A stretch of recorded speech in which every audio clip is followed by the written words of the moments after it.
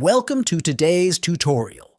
In this video, I'll guide you through the process of setting up Anaconda 3 in Visual Studio Code by creating the necessary path configuration. If you've already installed Anaconda, but it's not being recognized in VS Code, this step-by-step -step guide will help you fix that. By the end of the video, you'll be able to work seamlessly with Anaconda and manage your Python environments directly from VS Code.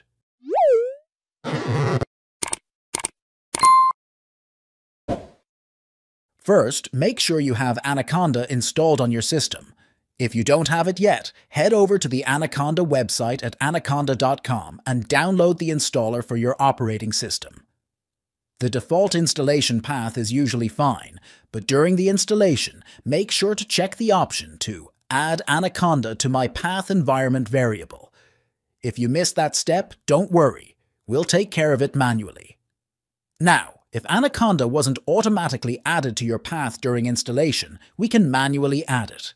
First, we need to find the installation path for Anaconda. Typically, it installs in your user folder under Siege User Saum Anaconda 3, but it could be different depending on where you chose to install it. Open File Explorer and navigate to the folder where Anaconda is installed. Right-click on the address bar and click Copy Address as Text to copy the Anaconda path. Next, let's add this path to your system's environment variables. Click on this PC on your desktop and then select Properties. From there, click on Advanced System Settings on the left side. Scroll down and find the path. Click on it, then click Edit. Paste the Anaconda path you just copied. After that, you also need to add the scripts folder in the Anaconda installation directory.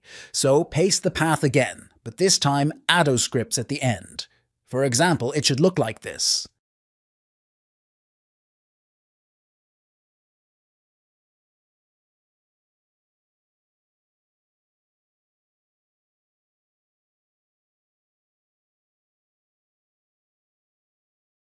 And that's it. You've successfully created the path for Anaconda 3 in Visual Studio Code. You can now easily manage your Python environments and run code using Anaconda in VS Code. If you found this video helpful, make sure to like, comment, and subscribe for more tutorials like this. Thanks for watching, and I'll see you in the next video.